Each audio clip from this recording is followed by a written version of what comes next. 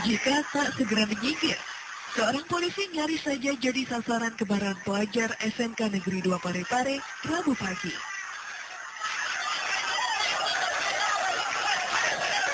Suasana sempat kembali memanas setelah ratusan siswa berupaya memblokir jalan Trans Sulawesi. Sementara sejumlah polisi memaksa mereka kembali masuk ke dalam sekolah.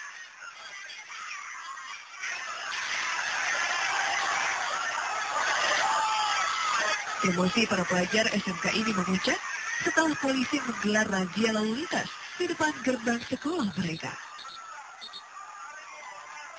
Himbauan polisi agar pelajar tenang dan kembali belajar tak digubris.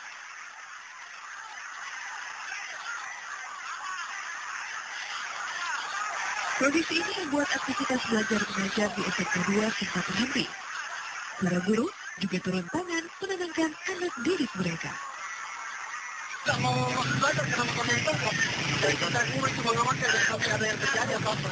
Iya. Jadi kita guru nggak ngajar ini karena siswa. Ya, sekolah di sekolah.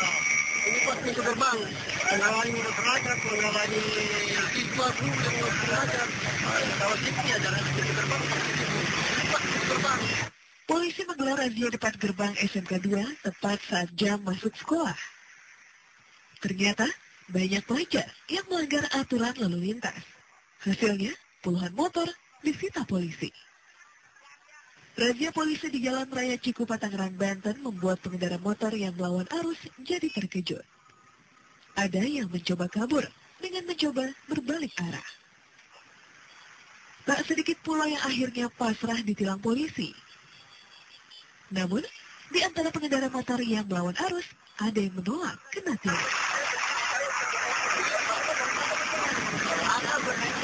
Adu mulut sempat berlangsung lama, lantaran si pengendara bersikukuh polisi sengaja menjebaknya.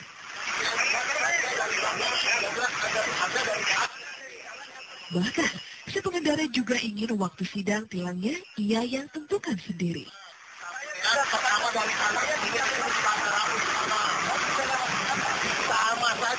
Sedikitnya ada 40 pengendara motor yang kena tilang polisi kali ini.